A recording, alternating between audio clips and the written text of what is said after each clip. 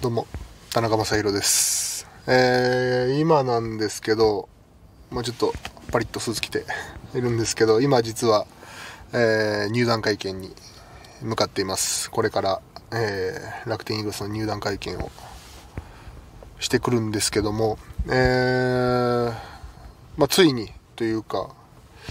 まあ、僕田中将大、えー YouTube を始めます。っていうかまあこれ撮ってる時点でも始めました。なのかもしれないんですけど。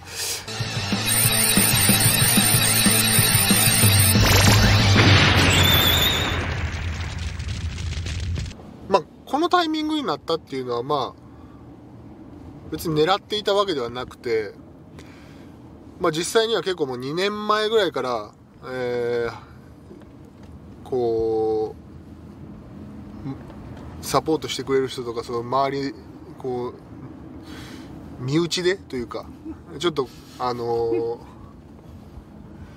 話をこうどんどん進めてはいっていたんですけどもまあたまたま本当にこのタイミングになってえーまあ要するに、まあ、自分のこういうコンテンツをしっかりと持って、えーいろんなことをこう自分からこうしっかりと発信したいなっていうのがまあ一番で。えーまああとは何ですかね、まあ、よりやっぱり野球やってる、まあ、僕もそうだし、えーそれ以外の部分の僕田中将大の、まあ、いろんな部分を、まあ、いろんな方に、えー知っていただけたらなというふうな思いであります。はい。うん大先輩ダルビッシュ有さん。えーからも「お前 YouTube やれよ」って、まあ、すごいそのもう2年前くらいからもずっと言っていただいてたんですけど「もう早やれ早やれまだやらんのか」ってめっちゃ言われてたんですけど「あのちょっと待ってくださいちょっと待ってください」って今話進めてるんでみたいな感じではあるんですけど、まあ、そういうダルさんともね今後なんか一緒にできたらいいなと漠然とは思ってます。えーまあ、今後なんですけど、